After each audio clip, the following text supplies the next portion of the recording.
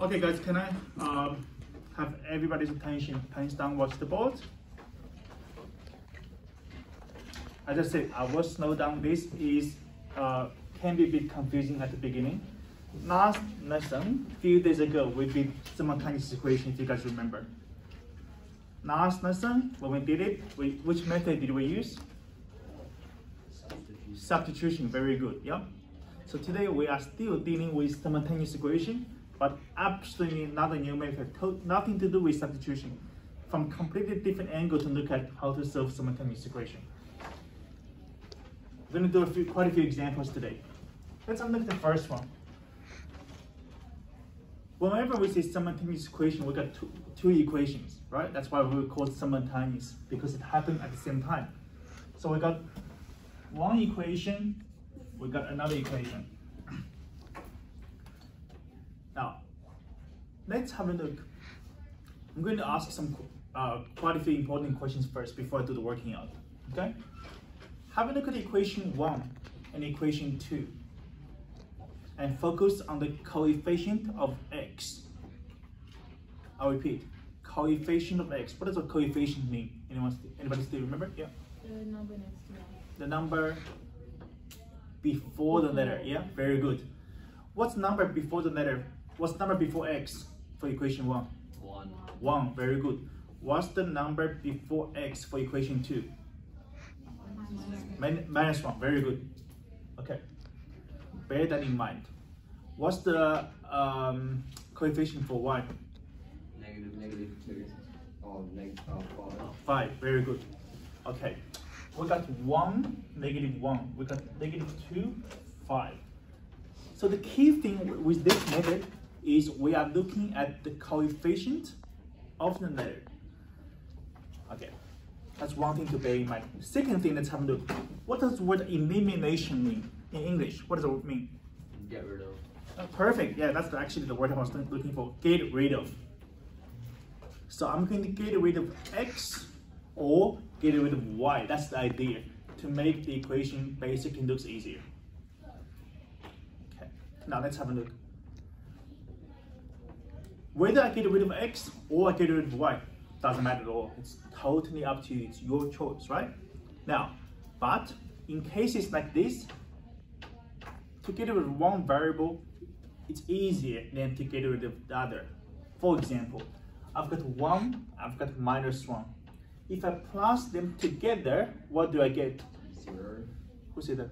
Zero? Perfect, Joe. Very good. It's zero. I'll just repeat again. One. Can you guys visualize this in your head? If I plus them together, it's zero. That is the most important key idea of today's. Once it's zero, it's disappeared, it's gone. Am I right? So I have to achieve the purpose of eliminate x. Does that make sense? Okay, so once we have made the decision, we're going to get rid of x. Then we're going to write down the proper working out now. So let's go equation one plus equation two. This, by the way, I think I, I say that last lesson, this one and two does not mean anything, it's just a name. Okay? Don't write down equal to equations three. I'm joking. Okay. Is it okay so far? Now I'm going to plus equation one, equation two together, which means I'm going to plus the left hand side with left hand side, the right hand side with the right hand side. So as soon as I write down this, these two already disappear. Can you, is it, a bit, um, you able to visualize it in your head? x plus minus x is already gone. Because x plus minus x is, what is it? Zero. Zero. Zero. Then I've achieved the purpose of eliminate, get rid of. X is already gone. Now that's what I want. Is it okay? Bear with me. We're going to do a few examples. It will become more clear after that. So these two already gone. Now minus 2y plus 5y. That's left hand side plus left hand side. Equals the Three right hand side plus right hand side. 1 plus 2. Now, do you agree with me that solving this is much quicker and much easier than solving the original one? What's mi- minus 2y plus 5y? Uh, three one. Three. You agree? So y equals one. Beautiful. 3y equals 3, y equals 1. How quick is that? Do we write that down? Not yet, not yet. Just focus on the uh, explanation part. I will give you time to write this down after that. Yeah? Hands be so. Sorry. Wow, so good. Y equals 1. Well, now, once I, put, once I get the answer already, just like a few days ago when we did the substitution, I need to go back to put to put here or here to find x, right? Now, which one you put? Now, from here, doesn't really matter now. Sometimes there's a, a quick and easy choice because of the fraction and all that, but this one doesn't really matter. Let's just say if I put it into equation 1. So back in here now, so x minus 2 times, what's y? One. Very good. x minus 2 is 1, x is 3. Then we completely finish. Mm-hmm. Again, just like a few days ago, we said we're going to make the final conclusion. Therefore, x equals 3, y is 1 is my final answer. Now, in exam, you do a quick check. x is what? What, what do you get? x is Three. 3. y is One. One. 2 times 1 is 3. 3 minus 2 is? Come on, One. 3 minus 2 is? One. One. Which means your answer is correct.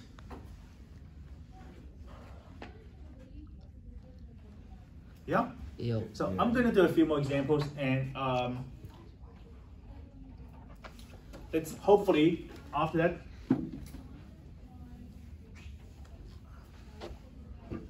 Okay, it's three. Oh, sorry. I better. It's running out of colors. Three x minus two y equals five. This one is a bit different, but we need to see a variety of examples. Then after that, you will see why I choose these, these examples, right? Now here, let's focus on again. Here is one minus one. I plus them together because one plus minus one. I plus them together, the x disappear. Yep, that's what I did. Right? Have a look here. Again, after that, I'm going to give you time to write it down, right? Just listen to the explanation. I'll write down this first because I know I will need it. The name I will need it, right? Have a look. Focusing on the coefficient. 3, 5. I can't add, I can't subtract. Right? 3 plus 5 is not 0. 3 minus 5 is not 0. So the x part is not helpful. Have a look at y. Minus 2, minus 2. What did I tell you? They're gonna cancel each other out. They can or they can't? They can, They can. How? Oh, because they're the same. So same number. Think think about like this. If that's if that's four, that's four. Four minus four. Zero. Minus two minus minus two. Zero. Minus two minus minus two is Zero. zero. Because minus two plus two is zero. Well done. Yeah? That's how I get rid of y. Does it make sense?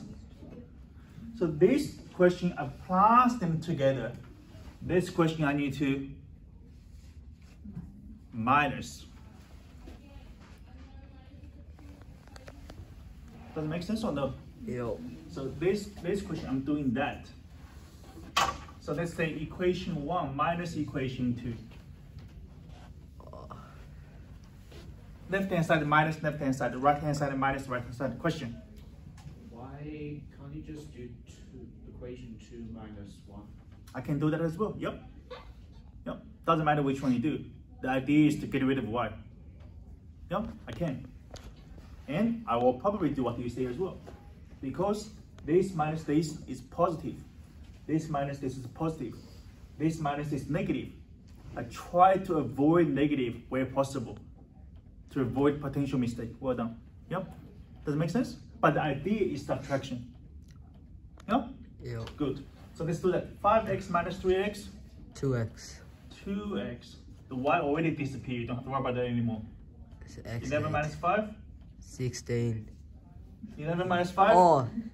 Uh, 6. 6. X equals 3. Yeah. Good job. Oh, No. plus. You can see that this one, Nonsense, me? you can see this one, that this part is much quicker than original, right? Once I got X, I put back to the original, doesn't matter which one. So we did try one just now, this, this time we will try two. 5 times 3, 5 times 3, minus 15. 2y is 11, 15 minus 2y is 11, 15 minus what is 11? Uh, 2. 15 minus what is 11? 4, right? Which means 2y is 4. Shh. y is 2. Yeah. Now you make your conclusion. x is 3, y is 2. Now, can I say that I know some of you will be able to do this in your head, it's easy? 15 minus 2y. But still write down the substitution process 5 times 3. Is that okay? Sure. These two are relatively easy example. I know it's new content, but they are considered as easy example. After that, I'm going to jump into a little bit harder one. Question first, yes. Um, your equation one minus equation two. Mm. Oh, sorry, my bad. Of course, this one minus this one, equation two minus equation one. Sorry. Is that your question?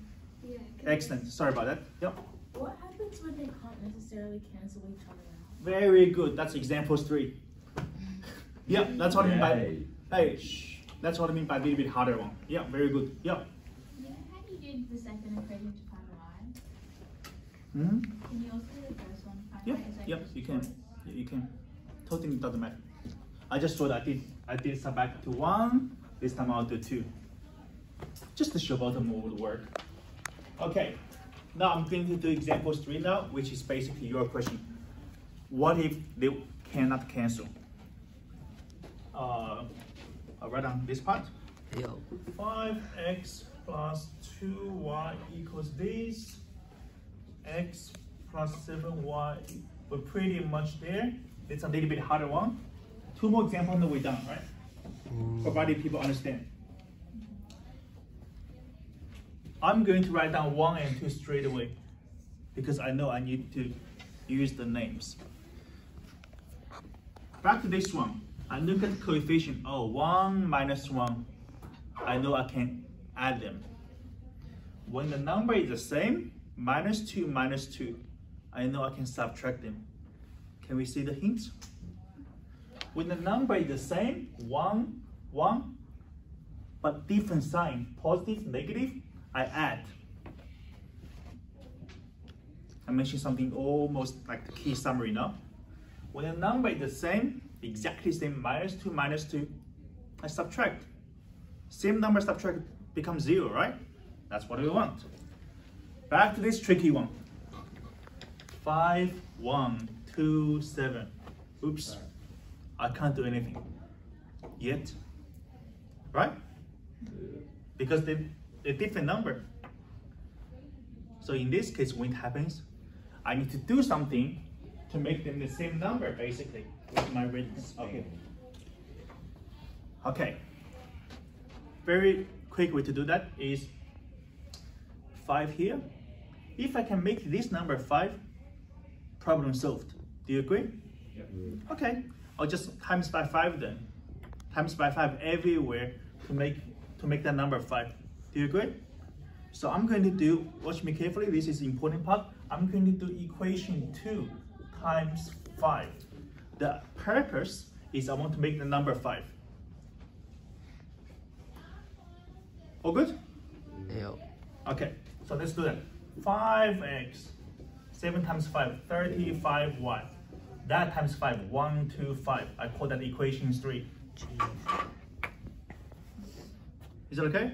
I'm not going to worry about equation 2 anymore. Because now I'm looking at, that, that is the 5 I want. That's why I times by 5. Is that okay or no? Okay, I'm going to form my new pair of simultaneous equation question. Um, using that method, could you technically, if they had similar factors. Let's say say it was like um it was like three y in in like equation one and it was like fifteen y in equation two. Could you like use the same factor? Mm. That makes sense? Good. I'll, I'll do another example um, later for the one you mentioned. Okay. Now I've got five. I got five. That's what I want, right? I'm going to write down this now. So 5x, I'm just copy down equation one, copy down equation three. That's one, that's three. I'm not going to worry about my old one anymore. Sorry, they're all gone. I'm going to focus on this one now, my mind and my eye. Look at this one now, right? Equation one, equations three. 5x, 5x, how good is that? Cancel. 5 minus 5, 0. That's what I want. So you can do equation 1 minus equation 3, or you can do equation 3 minus equation 1. Doesn't matter at all. And I'm going to do what he has just suggested. I'm going to do this minus this. Why? Because this minus this is positive. And this minus this is negative. I try to avoid negative where possible. You can. You still get a correct answer. Why choose the way that create potential mistake, right? So let's do equation three minus equation one. 5x minus 5x already disappeared. You don't have to write it, right? In your mind, that part is already gone. 35 minus 2. This minus this. 125 minus minus 7 is 125 plus 7, right? It's 132. And I think this times 4. This divided by this should be 4, right? I did my head. I think that's that's right. Yeah. y equals 4. By the way, with all the simultaneous equation we've done so far, can you see the number? I mean, the final answer is relatively nice small integer. 1, 3, 2, 3, 4. Haven't finished this one? Yeah? So in the exam, when you get all like the all four like in a really big, large fraction, most likely you made a mistake somewhere. I'm not saying you you must or you did, maybe, most likely, right? You can see all the numbers quite small, nice small integer. Now, okay, y equals four. Now I'm going back to find x. Should I go back to equation one, equation two? As a smarter choice. y equals four. Should I go here or here? I'll go for two. Two reasons. Equation one, I got five. I got negative. Yeah? Equation two, I don't have anything before x. Nice. Positive. Yeah? So there are sometimes there are wiser choice. Sometimes doesn't really matter. But when you have done enough exercise, you will see. So y is 4, I put it in here. x plus 7 times 4 is 25. Now you can see, fairly straightforward and there's no negative. That's x four. plus 7 times 4, I can do it now. 28 things. 25, x is negative 3. Make your conclusion. Well done. Thank you so much for my